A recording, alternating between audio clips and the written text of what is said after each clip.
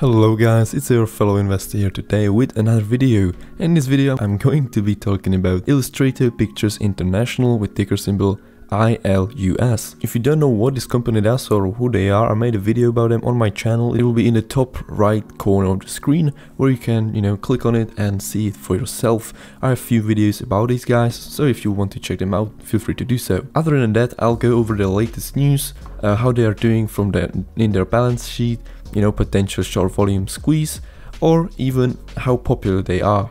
So if you're interested in that, definitely keep on watching, and without further ado, let's go straight into it. So as we can see today on the daily chart, it's been quite an aggressive ride.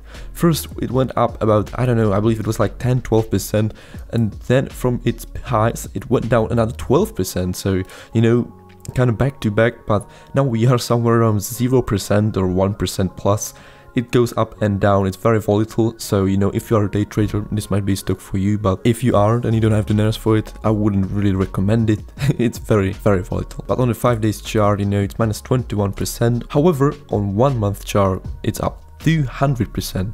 I believe I made a video about them, what, like a half a year ago, and when they were like, I don't know, like 12 cents, I believe, for 10 cents. So, you know, if you bought and hold, you know, good for you.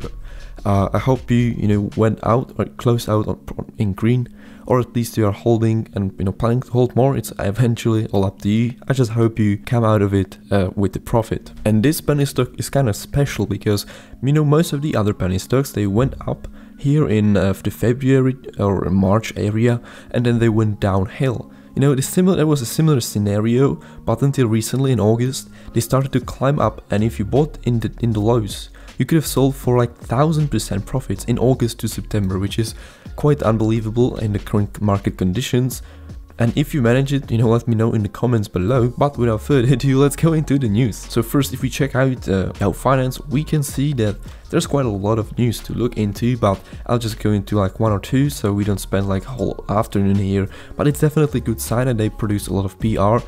Uh, so potential investors or even clients or customers can you know look it up and see how they're doing how they're treating the investors or even the, the other companies or acquisitions so that's definitely a good sign. So first news is from September 17 that ILUS provides an update on the current European acquisition which it is in the process of completing. So far in 2021, the company has already completed 3 acquisitions and is currently in the process of completing multiple acquisitions in the US and Europe. Having recently provided an update on its US acquisition strategy and progress, the company is now providing as much of an update as it is allowed to at this stage on the current large European acquisition which it is working on and they're talking about a large-scale manufacturing facility. So this definitely sounds very promising. ILUS can now confirm that this is a huge partial privatization deal, which is being completed in partnership with the government of the country. If you make deals with government, you are on the right path. The acquisition of the manufacturing plant and the linked manufacturing contract involves complex political contracts and legal advice which is currently what the ILUS team is working through. In addition to government contracts, the huge manufacturing facility which employs many staff will also be used for the large-scale manufacture of ILUS firefighting equipment and vehicles and ILUS range of commercial electric utility vehicles for distribution globally. So this is overall very good acquisition from this general information they've provided to us. It's not really anything specific like what kind of company it is, but the description very well fits the ILUS like scheme of acquisition so they definitely end up on the top of the deal. And then just a few days ago, ILUS announced its US firefighting equipment distribution rollout. As a part of the fulfillment of its strategy, ILUS is currently working on acquisitions in the US and Europe. The company can announce that it has officially agreed to terms for the purchase of profitable US-based firefighting equipment distributor, which holds multiple exclusive distribution contracts for the sales and servicing of some of the world's largest firefighting equipment brands and has a current annual turnover of $3 million. So it doesn't seem to be like a really small company, it seems they are doing quite well. You know, obviously the company doesn't want to like acquire money losing companies, only like the best of the best. ILUS is officially entering the US market by acquiring a leading US distributor of firefighting equipment as well as equipment for police and EMS personnel. The acquisition is well-known industry name and has been operating for nearly 20 years. It holds numerous exclusive distribution contracts for its local state and neighboring states as well as several nationwide distribution contracts. The company has exclusive distribution contracts in place for the world's largest hydraulic hydraulic hydraulic rescue equipment brand, one of the world's largest brands of rescue tools and rescue support equipment and for a global leader in turnout gear. Then there's even more description of the like the company they're acquiring, which is great. However, there is not like the it's not specific name because as they mention here above, the seller has requested that all employees are formally notified of the sale prior to the company being named and therefore ILUS will announce the company name and further important details such as the exclusively distributed product names and contracts in a follow-up press release once all approvals are in place. So this is really a great and really honest move from ILUS uh, with this company they're trying to acquire so, so, even for investors, they know that this is going to happen, but because they haven't specified the name, the stock price didn't go up because it will go up maybe like a few percent, but probably nothing crazy. But after they will name the company, this is when you know it will maybe attract even bigger investors, and when the stock price should or could probably move upwards massively.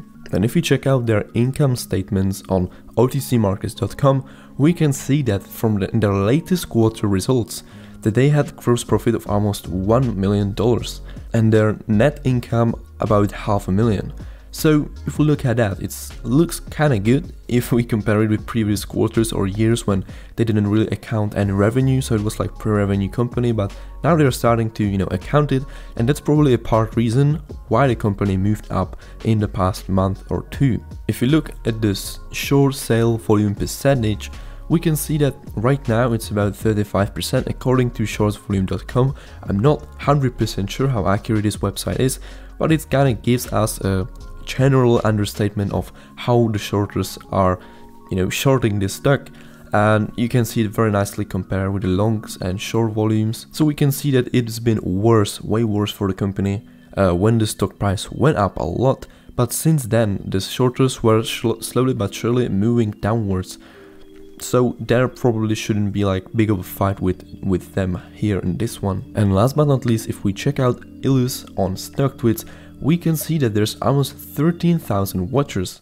So, you know, it's a little bit of an underrated stock or penny stock, uh, but it's not anything small. You know, I've been re reviewing uh, penny stocks which had like 1000, 2000 or even few hundred watchers here on StockTwits, and then in a month or two they've gained over few thousands or even over 10,000s of new followers. So, you know, this kind of indicates that people are aware of it, but it's not anything mainstream like AMC, GME, or even like Facebook stock, right? So, you know, it's not anything unknown, it has some kind of volume, people are interested in this company, and there's possibility that people will buy any possible dips. So if we look at the chart, I would say that we could see probably like a bit of a move to 37 cents and then it could have a really big correction if there is not going to be like a big PR to back it up. Because I've seen this kind of a graph in with on many many stocks uh, like this kind of a weird head and shoulders right? Left shoulder right shoulder and head or body whatever you call it and then the stock just stock price goes down but i hope i'm wrong and that they will back uh, their stock price or the company growth with some very decent pr because from this news i just told showed you it seems like they have bigger and better news coming up sooner or later and that they really want to become very profitable acquiring company and so far I think they're doing a good job as we could see from their revenues and of course their net income. So I hope I brought you some value with this video. If I did then definitely subscribe to the channel and smash the like button for the YouTube algorithm. If I missed something out or you have any possible question you can let me know in the comment section below. With that being said thank you so much for watching and I'll see you in another video.